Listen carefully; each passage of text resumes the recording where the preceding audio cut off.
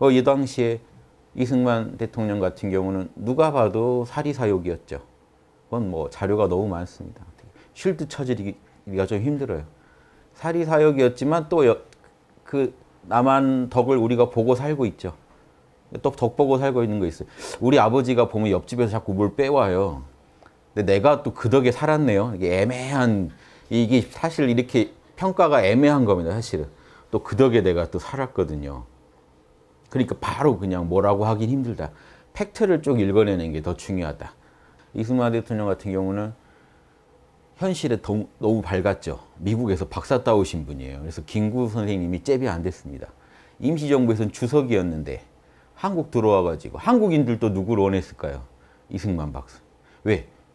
아니 미국이 우리 구원국인데 그 당시 최고 세계 강국인데 거기서 박사 따왔대요. 그러면 사실 한국인들 게임 끝난 겁니다. 미국 박사래. 거기서 끝났어요.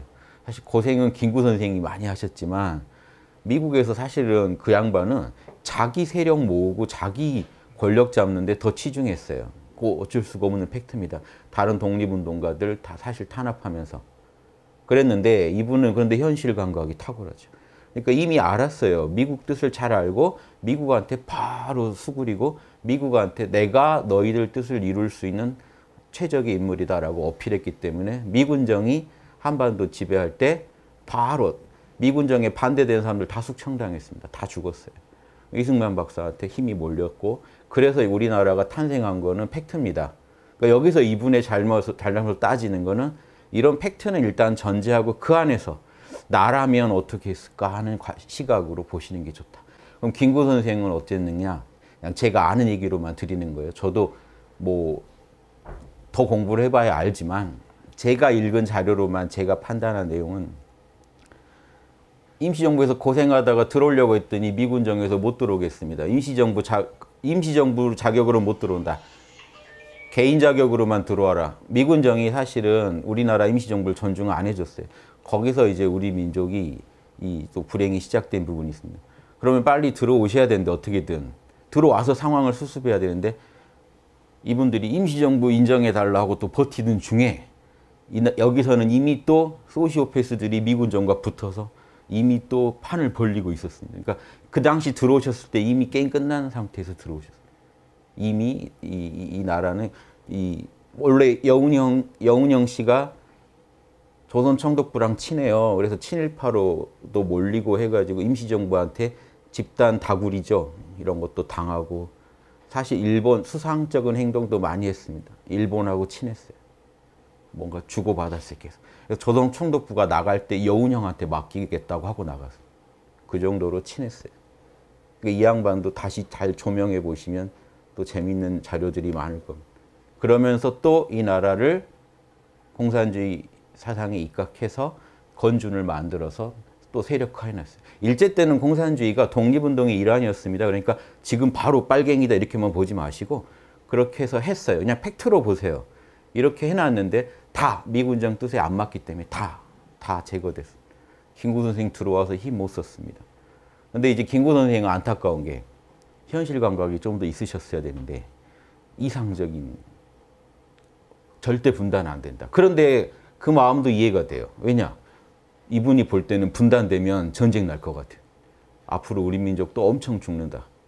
그래서 남북 오가면서 계속 했는데 북을 갔을 때 김일성한테 사실은 이용당했죠. 이런 부분에서는 우리가 자명하지 않으면 마음은 앞서셨는데 김일성한테 이용당하고 오셨어요. 사실은. 그러니까 이게 안타깝죠. 마음은 참 절대 남북 분열 안 된다. 그 마음 하나는 아름다운데 현실적으로 쓸 수 있는 수들이 없었고 국제정세나 이런 데 받지 못하셨어요. 이승만 대통령과. 이거는 이제 한 개인의 안타까움이 아니라 우리 민족이 그때 우리 민족의 운명이 정해지는 순간에 거기 가장 그 주역들의 판단들이라 안타깝습니다. 여기서 서로 좀 협심을 해가지고 우리 민족 좀 살릴 방안을 더 찾아낼 수 있지 않았을까. 저는 이거예요. 현실 무시한 얘기는 전 안 합니다. 좀 더 자명한 방안 없었을까. 신탁톤치 안도 우리가 받아들여서 그 안에서 대, 대안을 찾을 수도 있었어요. 동아일보가 오보를 때렸습니다. 소련이 신탁통치 주장했다. 남북 찢어놓으려고. 사실 미국이 주장했던 거예요. 이게 오보 때문에 독립운동가들이 또 확 뒤집어졌어. 그러니까 이런 게 지금 우리가 지금 보면 자명하지 않은 정보에 우리 운명이 되게 결정된 게 많아요. 안타깝죠. 안타깝다는 걸 전제하고 얘기 드립니다. 누구 잘잘못을 따지기 전에 되게 안타깝고 그 상황에서 누가 봐도 이승만 대통령은 자기가 대통령 하려는 게 컸습니다. 그 부분이 또 안타깝습니다. 그 능력 가지고 되게 욕심이 너무 많으셨다. 김구, 김구 선생 같은 경우는 참 고생 많이 하셨는데 이분도 다 잘했다는 게 아니에요. 그러니까 그 당시 민족에 대한 걱정은 참 안타깝다. 근데 현실적으로 너무 무력했다. 그래서 그런 부분들 일단 제가 고민하실 때 한번 참고하시라고. 저는 더 얘기는 안 드리겠습니다. 그런 부분 때문에 근데 재밌는 게 뭔지 아세요? 역사가 지나고 나니까 어때요? 재밌는 게. 당시 대통령 하셨던 국부인데 지금 우리가 누리는 이 자본주의 지금 공산주의 여러분 북한에 태어나셨으면 어쩔 뻔했습니까? 너무 좋죠. 뭐, 뭐가 그렇게 좋다는 거야 하지만 북한보단 좋지 않습니까? 북한보단 좋잖아요. 솔직히 지금 여기서 공산주의 우리나라에서 공산주의 최고다 하는 분들 월북 안 하시죠? 여기가 좋거든요. 여기서 공산주의 하고 싶은 거지 거기 가서 하고 싶은 분들 많지 않을걸요? 그러니까 뭐냐면 우리가 이런 누리는 이런 민주주의 자본주의 국가 세워준 건 되게 감사한데 그런데도 왜 국부 대접을 못 받으실까요? 이것도 인과입니다. 사실 자기 대통령 하려고 돼가지고 대신 뒤에 없는 빨갱이도 만들어서 어마어마하게 죽였어요. 6.25 때. 서울 버리고 제일 먼저 도망가신 양반이 나중에 서울 들어와가지고 북한군 도왔다고 또, 또 선량한 국민들 다리 끊고 도망간 주제에 엄청나게 죽였습니다. 또 빨갱이들이 장차 뭔 일 낼지 모른다고 또 엄청 죽였죠. 보도연맹 해가지고. 그냥 국민들을 뭐 이렇게 빨갱이 아닌데도 보도연맹에 다 가입하라고 했어요. 다 가입했더니 전쟁 나니까 이 양반들이 이, 친구들이 적이 될 수 있다 해서 다 죽여버렸어요. 그냥. 그러니까 우리 민족이 우리 그러니까 우리 남한에서 남한 국민들을 엄청 죽였습니다. 제주도 4.3 사건 뭐 말할 수 없는 이런 여순 반란 사건. 그것도 사실 들여다보면요. 다 안타까운 역사예요. 예. 제주도 4.3에 투입되라고 하니까 군인들이 어, 거긴 나 못 가겠다 해가지고 반란이 된 게 여순 반란 사건이에요. 그러니까 다 연결돼 있어요. 어, 좀 무고한 국민, 선량한 국민들을 빨갱이로 몰아 죽이려고 하는 빨갱이들도 있었습니다. 하지만 대다수는 무고한 사람들이 많았어요. 근데 거기 죽이라고 그 투입되라고 하니까 갑니까? 못 간다 군인들이 하니까 또 그게 반란군이 돼가지고 또 전쟁이 나서 죽고. 그러니까 정치를 잘 못하셨다고요, 사실. 그래서 뭐 이런 얘기도 또 싫어하시는 분도 있겠지만 그냥 내려놓고 보세요. 그 왜 이승만 박사하고 그 실드 쳐서 뭐 합니까? 감사해요. 지금 우리가 누리는 자본주의는. 저는 감사합니다. 감사한데 왜 그분이 대접을 못 받는가에 대해서 말씀드리는 이것도 인과가 있다. 근데 왜 김구 선생이 대접받는가? 오히려 사실 현실에 대해서는 좀 무능했고 우리 민족 살려야 된다 마음만 갖고 있은 그 마음은 고귀한데 현실적으로 참 무력했던 그분을 역사에서 다시 치고 현실적으로는 유능했으나 자신을 위해서 활동했던 분은 대접 못 받는 거 이것도 보셔야 돼. 이것도 역사가 인과가 집행되고 있는 부분입니다. 재밌죠? 지금 와서 보면 좀 더 잘하지 할 게 많죠. 그런데 그 당시엔 또 얼마나 정보도 부족하고 힘들었을까요? 그 와중에 국가적인 막 선택을 해야 되니 다들 힘드셨을 거예요. 다만 그 중에 그래도 좀 더 나라 위해서 움직인 사람들이요 후대에 더 평가받을 겁니다. 어쩔 수가 없습니다. 그 당시엔 아무리 인정받고 권력을 잡고 있더라도 자기 사역을 더 챙겼던 분들은 분명히 평가받습니다. 왜냐하면 제일 안 좋은 게 지금 이승만 대통령 잘한 부분도 많이 있겠죠. 그런데 제일 안 좋은 게 본인이 집권을 하고 보니까 친일파를 대고 받아들였어요. 그게 지금 우리 민족이 아직 치유가 안 되고 있는 부분입니다. 지금 와서 치유하려니까 그때 했어야지 지금 하려면 너무 일이 커지죠. 복잡해지죠. 친일파들을 대거 그대로 들이니까 독립운동가들이 어떻게 나, 나 잡아다 고문하던 나 잡으러 다니는 사람들이 다 요직에 앉는데 거기 어떻게 내가 참가합니까? 그래서 김원봉 같은 분은 월 저기 북으로도 갔잖아요. 북으로 내보냈어요 우리가.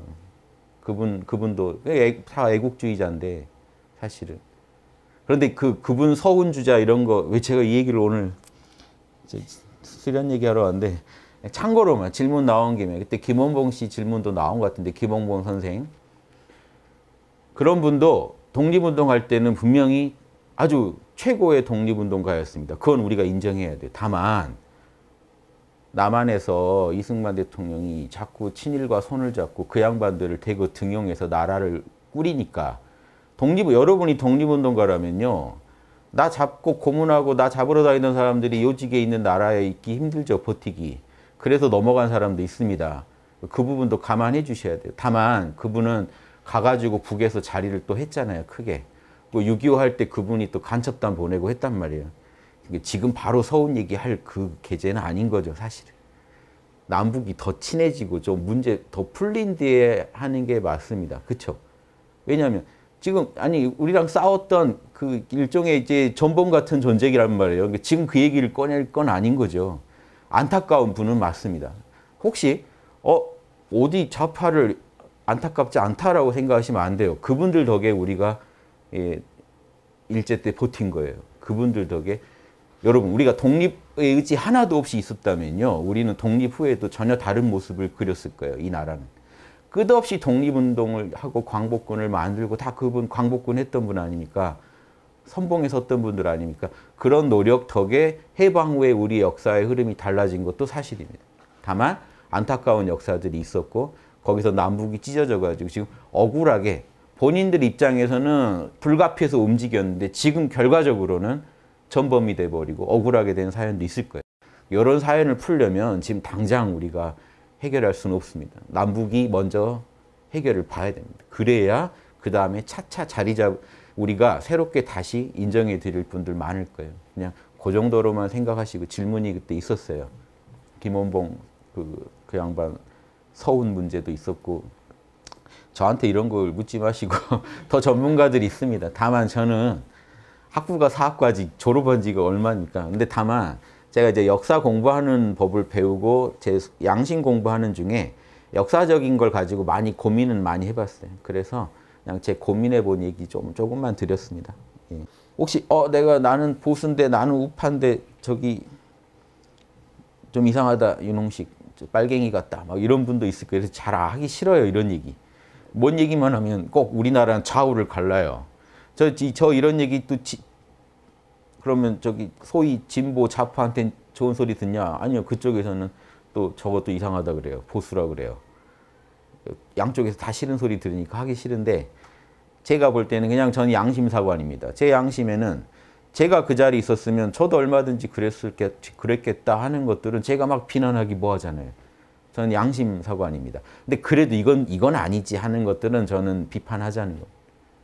그래도 이거는 참 그 당시 상황이 힘들었다 하더라도 이건 참 대견하다. 이런 마음 먹어주신 것만 해도 대견하다. 그건 우리가 또 칭찬하자는 거예요. 이런 식으로 접근하면요. 싸울 일이 없어요. 그런데 좌우 땅 찢어놓고 덤비면요. 끝없이 싸울 일만 생깁니다. thank you